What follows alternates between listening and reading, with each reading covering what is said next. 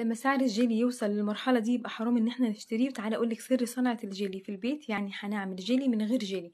عملت ثلاث طبقات وثلاث أصناف من الجيلي من غير ما أشتري ولا باك واحد بس من الجيلي. تعالي شوفي الطريقة وما تنسيش متابعة لو لسه أول مرة بتشوفيني حضرت البولة وهحط فيها أربع معالق كبار من السكر معلقتين اتنين من الجيلاتين النباتي البودر وبيتباع عند أي عطار. هعمل نكهة المشمش فهستخدم نكهة المشمش ولون غذائي أصفر. هحط من كل حاجة فيهم ثلاث نقط. هنزل عليهم بكوباية من المية السخنة وابتدي أقلب كويس جدا. وهضيف عليهم كوباية من المية الباردة وأكمل تقليب وبعد كده آخد الخليط بتاعي ده كله وأصفيه كويس جدا عشان لو في أي شوائب تتصفى معايا. هجيب الموز طبعا عاملين جيلي. بيكون حلو جدا بالموز. هحط قطع الموز كده في الكاسات وأصب عليهم أول نكهة اللي هي كانت بالمشمش هكرر الموضوع دوت. أربع معالق كبار من السكر معلقتين من الجيلاتين النباتي. أنا هنا هعمل نكهة التفاح.